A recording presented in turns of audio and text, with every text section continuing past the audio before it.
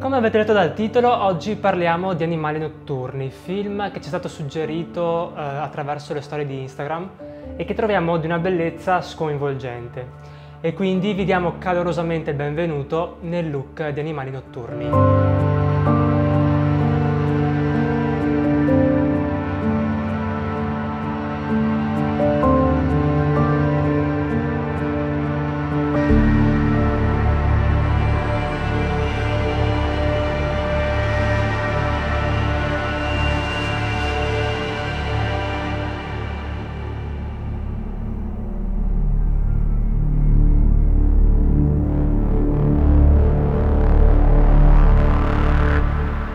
Ciao a tutti ragazzi e bentornati qui nuovamente sul canale. Oggi parliamo di Animali Notturni, film diretto da Tom Ford, il quale oltre a essere regista e sceneggiatore della pellicola è anche uno stilista e creative director, infatti ha eh, fondato nel 2005 un suo brand e eh, è stato anche creative director di Gucci e Yves Saint Laurent.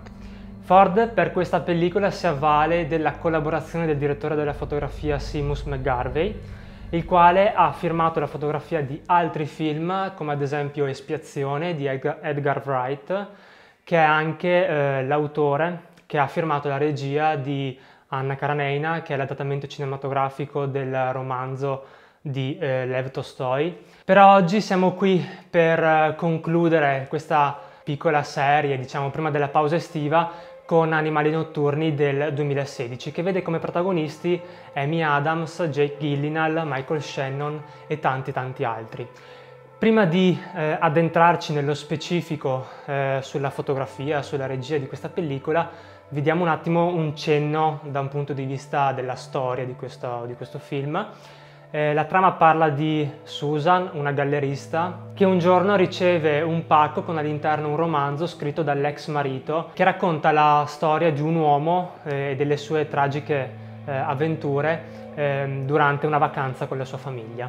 Questo romanzo porterà Susan a riflettere sul suo passato e su alcuni lati oscuri della sua personalità. Da un punto di vista visivo questo film è molto elegante, complice anche il fatto che Tom Ford, essendo uno stilista prima di tutto, ha sicuramente maturato negli anni un buon senso estetico barra visivo da applicare poi sul campo per questo film. Infatti è arrivato eh, da Simus, il direttore della fotografia, con una mood reel ben specifica e ricca di riferimenti che potessero essere utilizzati eh, nella, realizza- nella, realizzazione delle immagini.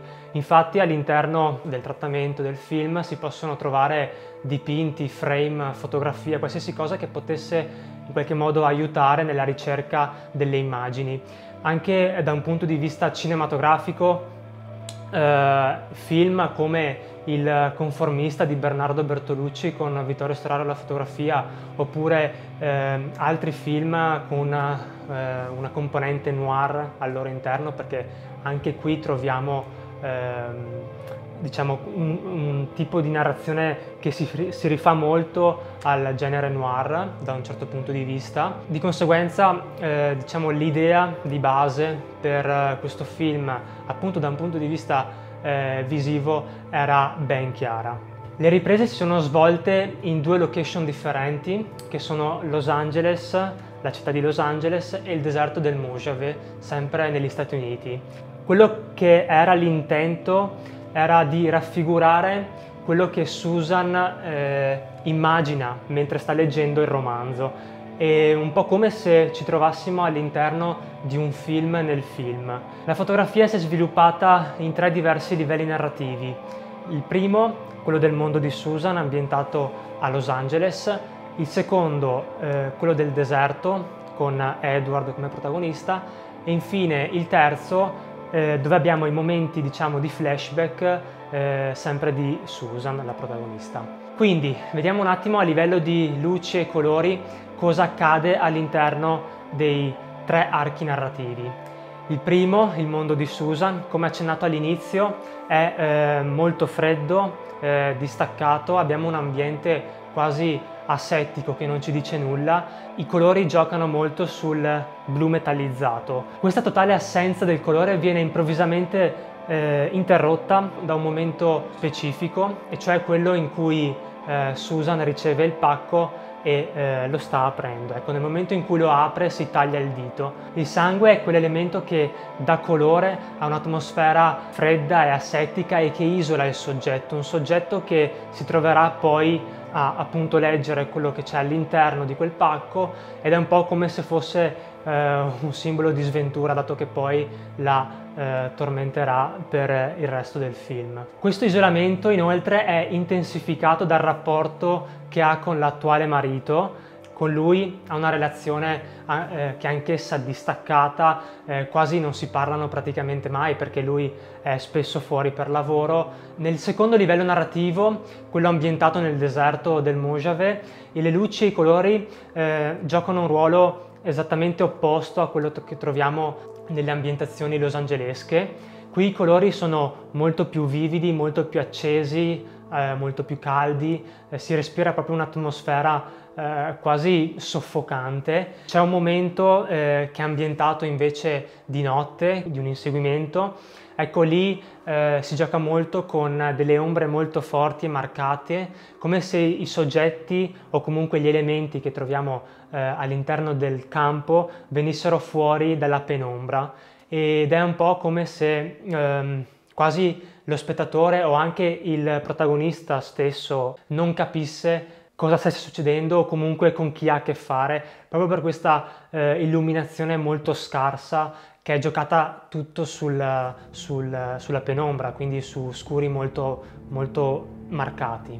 E infine le luci e i colori eh, che troviamo all'interno del terzo livello narrativo, cioè quello dedicato ai flashback nostalgici di Susan, eh, sono molto più accesi e illuminati, anche vivaci, abbiamo una forte correlazione tra toni freddi e toni caldi, eh, un po' per trasmettere un mood gioioso e se vogliamo anche speranzoso agli occhi di Susan. Le immagini quindi sono molto più morbide per trasmettere un'atmosfera più ehm, leggera e eh, ottimista. Parliamo inoltre di un altro elemento che ehm, arricchisce l'argomento della fotografia nel cinema, che sono i movimenti di macchina. I movimenti di macchina che troviamo all'interno del, del mondo di Susan, ambientato a Los Angeles, sono quasi assenti. Le inquadrature sono prevalentemente statiche, eh, dove abbiamo un'ambientazione che incornicia la protagonista all'interno di questo ambiente eh, freddo, tutto ben organizzato ed elegante anche. Nell'arco narrativo dove abbiamo il personaggio di Edward nel deserto con uh, Michael Shannon e altri eh, protagonisti, eh, anche qui le immagini sono prevalentemente statiche, abbiamo pochi movimenti, gli unici movimenti che troviamo sono in un momento specifico che non rivele- riveleremo quale, dove lì abbiamo tanta macchina a mano, a tratti non si capisce bene cosa sta succedendo proprio perché eh, si respira un'atmosfera instabile, di confusione e, e questo permetteva anche eh, agli attori di improvvisare di più i movimenti del, del corpo. Infine, volgendo un, uno sguardo verso la parte tecnica di questo film, il film è stato girato in pellicola 35 mm su macchina eh, Panavision Millennium eh, XL2 che se vi ricordate è la macchina che hanno usato per girare The Lighthouse, che ovviamente se non avete ancora visto vi eh, lasciamo qui sopra il link nel caso vogliate andarlo a recuperare. Fidatevi che molto, anche, anche quello è molto interessante. E come ottiche invece Simus si è ehm, rivolto verso eh, un kit di Panavision Primo versione sferica. Bene, questa era un'analisi riguardo eh, il film Animali notturni del 2016 di Tom Ford. Eh, vi consigliamo caldamente di andarlo a recuperare nel caso non l'abbiate visto. Io vi ringrazio per aver visto anche questo video. Lasciate un like se il video vi è piaciuto, un commento circa, riguardo circa questo video o il film in generale se volete esprimere qualche opinione. Iscrivetevi al canale se ancora non l'avete fatto noi ci prendiamo una piccola pausa estiva per il mese di agosto e ovviamente riprenderemo poi a settembre con altri video, altri cine look che scommetto che a molti di voi interesseranno e quindi non mi, non mi resta che augurarvi un buon weekend e noi ci vediamo ovviamente a settembre. Ciao a tutti!